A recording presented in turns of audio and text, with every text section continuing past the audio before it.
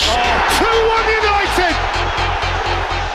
That comes courtesy of Sky Sports reporter Florian Plettenberg, who states that loose talks have begun with Thomas Tuchel amid interest from both United and Chelsea.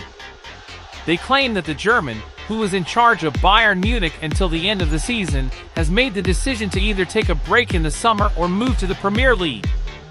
It had already been reported that he found the opportunity to manage Manchester United appealing amid contact, but that has now stepped up into talks over his future, indicating that those at Old Trafford are ready to move on from Ten Hag.